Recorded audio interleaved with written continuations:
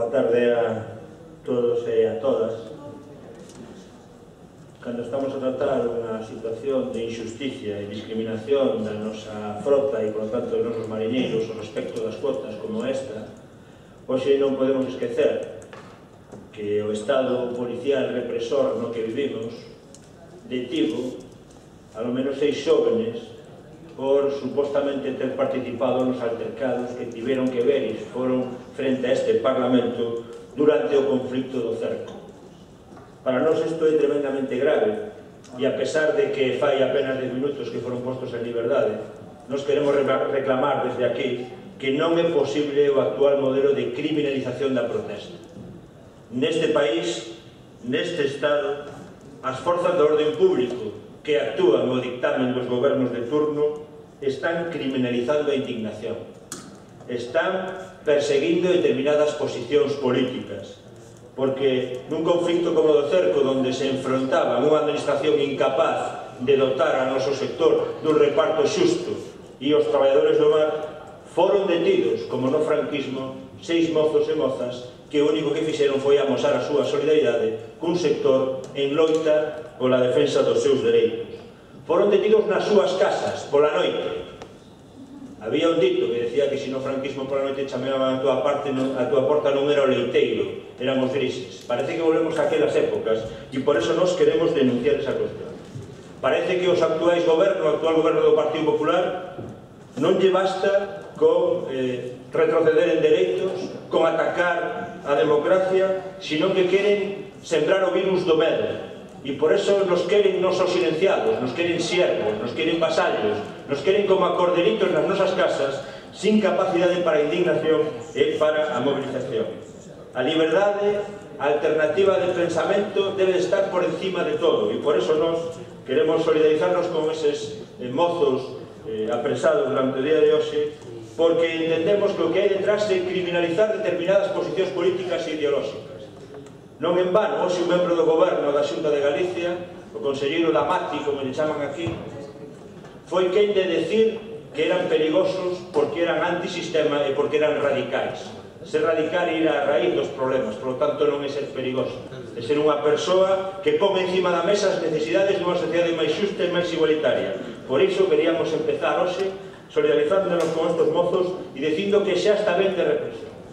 Que non se pode reprimir a solidaridade porque estamos falando dun conflicto provocado pola incapacidade dun goberno que deixa o noso sector do mar a expensas de intereses alleos á nosa comunidade, ao noso país e alleos aos nosos intereses económicos.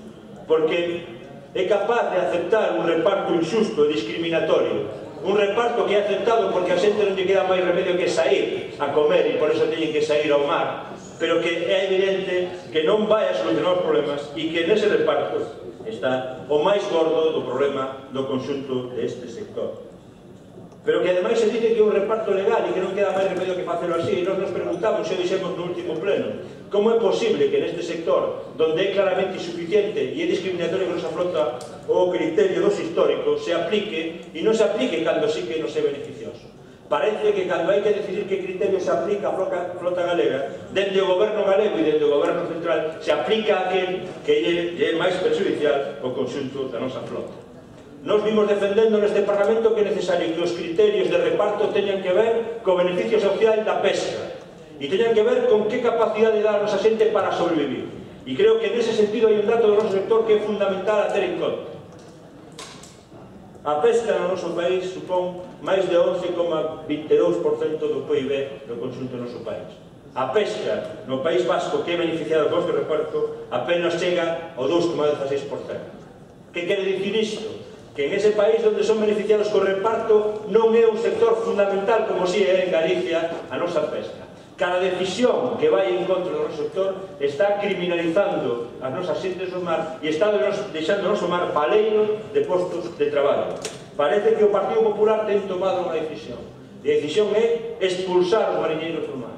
O fan no cerco, o fan no marisqueo e o continuarán facendo porque teñen encima da mesa un proxecto distinto e é un proxecto que non está apostando pola pesca ni polos sectores extractivos. A pesca por, a, aposta pola pesca industrial, por eh, acumular capital en poucas empresas e aposta tamén, hai que decirlo de unha forma clara, por unha acuicultura depredadora de recursos. E nós non podemos compartir ese modelo. Nós creemos que é necesario que se eh, supere a actual situación e por eso compartimos a proposta do Partido Socialista porque é evidente que temos que acabar co principio de solidaridade relativa e tamén é moi evidente que ten que estarse, eh, teñen que terse en conta outros criterios para o reparto da frota. E nós insistimos que o criterio debe ser o criterio social, aquela frota que maior valor engadido ten e que máis postos de traballo é capaz de acadar. E esa é a frota galega e non outras frotas que son moito máis depredadoras que a nosa. Mais nada, eu.